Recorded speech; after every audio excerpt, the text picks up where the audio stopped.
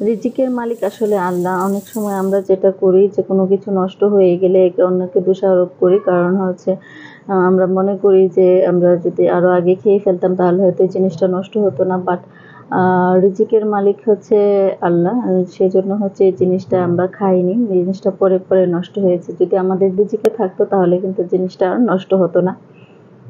Hello everyone আসসালামু আলাইকুম Habiba's cooking and blog থেকে আরও নতুন একটি ব্লগ নিয়ে চলে এসেছি আমি হাবিবা। তো আমি আমার বারান্দায় আসলাম। এখানে হচ্ছে রেন লিলি গাছটা। এর আগেও আপনারা দেখেছেন, এখানে হচ্ছে কোনো ফুল ফুটে নাই। সেজন্য হচ্ছে আমি গাছটাকে ছেটে দিয়েছিলাম যেন নতুন করে ফুল ফুটে। তো কিছুদিন পরে হচ্ছে বেশ কয়েকটা ফুল ফুটেছে, তিন চারটা। তারপর আরও এক সপ্তাহ পরে আট থেকে দশটা ফুল ফুটেছে। হঠাৎ করে বারান্দায় এসে দেখে আমি তো অবাক। আর ছোট একটা অর্গেন্ডা গাছ আছে, দেখতে পাচ্ছেন। ওটা আমি বড় হতে দেই না, যেহেতু বারান্দা এবং ছোট টব, সেজন্য হচ্ছে এটা ছেটে ছেটে ছোট করে রাখি। আর এই অর্গেন্ডা ফুল না হলেও এক মাস ধরে ফুল ফুটতেছে। প্রতিদিনই একটা দুইটা করে ফুল ফুটে। মানে আমি জাস্ট অবাক যে এই ছোট গাছে এত ফুল কীভাবে ফুটে? মাশাল্লাহ মাশাল্লাহ। তো যাই হোক পাশে হচ্ছে আরেকটা অ্যালোভেরা ছোট গাছ আছে। এটা ছোট্ট একটা টবে লাগিয়েছিলাম আমি, তো এটাকে পরবর্তীতে আমি চেঞ্জ করে দিয়েছি, বড় একটা টবে দিয়েছি। যেহেতু গাছটা বড় হচ্ছে, তো আমি হচ্ছে মাছ, মাংস খেতে খেতে আজকে মনে হচ্ছে যে গরিবই আনা একটা খাবার খাব। তো সেই জন্য আমি আজকে হচ্ছে একটা পাতলা ডাল রান্না করছি, সেই সাথে হচ্ছে শুটকি রান্না করছি বেগুন, আলু দিয়ে, আর হচ্ছে করলা ভাজি করব। কারণ হচ্ছে সব সময় দেখা যায় মাছ, মাংস খেতে খেতে মুখে একটা অরুচি চলে আসে। তখন হচ্ছে একটু শুটকি, ভর্তা বা ভাজি এই টাইপের খাবারগুলো খেলে আবার মুখে রুচি চলে আসে। তো এই শুটকিগুলো হচ্ছে সেই কুয়াকাটার শুটকি, যে শুটকিগুলো মানে আমার জন্য নিয়ে এসেছিলেন। আমার হাজব্যান্ড কুয়াকাটা থেকে বোঝা বয়ে নিয়ে এসেছে। তো এগুলাকে তো হালাল করতে হবে। তো বাসায় কেউ আসছেও না যে কাউ কারোর সাথে শেয়ার করব।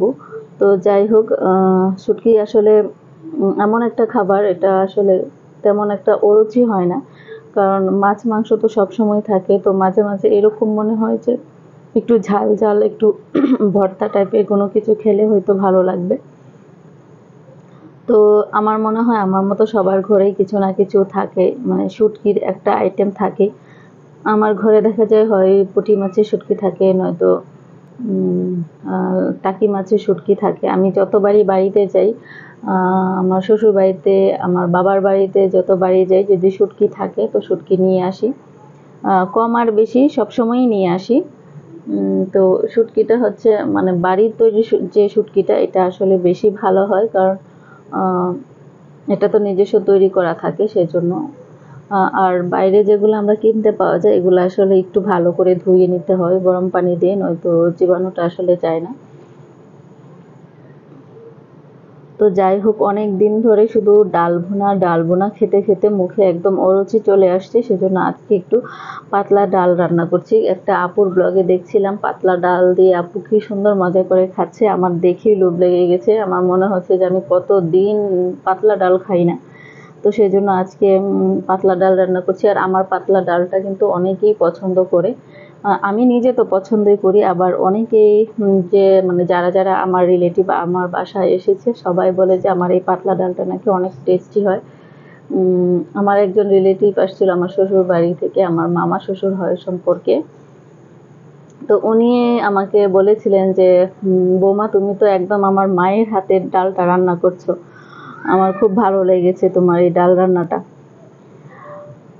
তো যাই হোক ডালটা আমি পাতলা ডালটা অনেকক্ষণ হচ্ছে সিদ্ধ করে নিই। মানে বেশি পানি দিয়ে তারপর ভালো করে জাল দিয়ে নিই মে বিশ থেকে পঁচিশ মিনিট, তাহলে হচ্ছে ডালটা টেস্টি হয়। বেশি ডাল আমার পাত মানে আমি যেটা করি, ডাল রান্নার সময়, পাতলা ডাল রান্নার সময় হচ্ছে একটু বেশি করে পানি দিই আর চালটা একটু বেশি করে দিই। আর আমি কিন্তু সব ধরনের যেরকম আদা বাটা, রসুন বাটা এগুলো ইউজ করি না।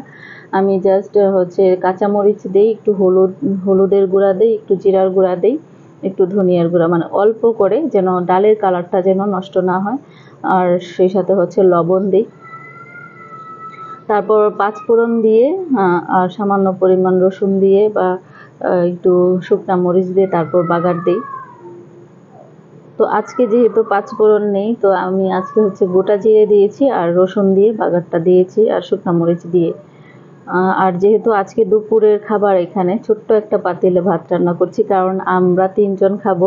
খান সাহেব তো অফিসে আছেন, তো আমরা যখন দুপুরে রান্না করি, তখন ছোট এই পাতিলে রান্না করি, আর যখন হচ্ছে সবার জন্য রান্না করি, তখন হচ্ছে আবার রাইস কুকারে বসিয়ে দিই। আমার রাইস কুকারটা একটু বড় তো দুই পট, তিন পট চাল আসলে রান্না করলে হয় না।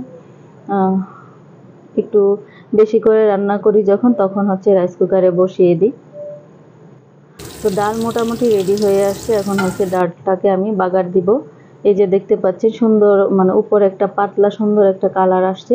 এ তখন আমি হচ্ছে বাগারটা দিই। তো বাগারটা দেওয়ার পর হচ্ছে এটাকে কিছুক্ষণের জন্য ঢেকে দিব যেন গন্ধটা মানে সরে না যায়। গন্ধটা যেন ডালের সাথে থাকে। বাগারের একটা সুন্দর ফ্লেভার থাকে। ওই ফ্লেভারটা যেন নষ্ট না হয়, তার জন্য হচ্ছে আমি এটা এখন ঢেকে দিব। ভাত রান্না শেষ, ডাল রান্না শেষ, তারপর হচ্ছে শুটকি রান্না শেষ, এবার হচ্ছে আমি করলা ভাজিটা করে নিচ্ছি। তো করলা নিয়ে বিশাল এক ইতিহাস আছে। কারণ হচ্ছে করলা, ভাজি আমি খেতাম না। আগে যদি করলা নিয়ে আসতো, আমার রাগ হয়ে যেত। এখনও যদি বেশি করে নিয়ে আসে, আমার রাগ রাগ উঠে যায়। কারণ হচ্ছে আমি করলা একদমই পছন্দ করি না। তো তাও এখন একটু আগে থেকে খাই। কারণ এখন একটু আলু, পেঁয়াজ, রসুন এগুলো দিয়ে রান্না করি যাতে তিতাটা তিতাটা কম লাগে। তো এই ছিল মূলত আমার আজকের দিয়ে আনা খাবার। তো আমার আজকের এই রেসিপিগুলো আপনাদের কেমন লেগেছে, আমার আজকের এই ব্লগ ভিডিওটা কেমন লেগেছে অবশ্যই কমেন্ট করে জানাবেন। আর আপনারা সবাই ভালো থাকবেন, সুস্থ থাকবেন, আমার জন্য দোয়া করবেন। আল্লাহ হাফেজ সি ইউ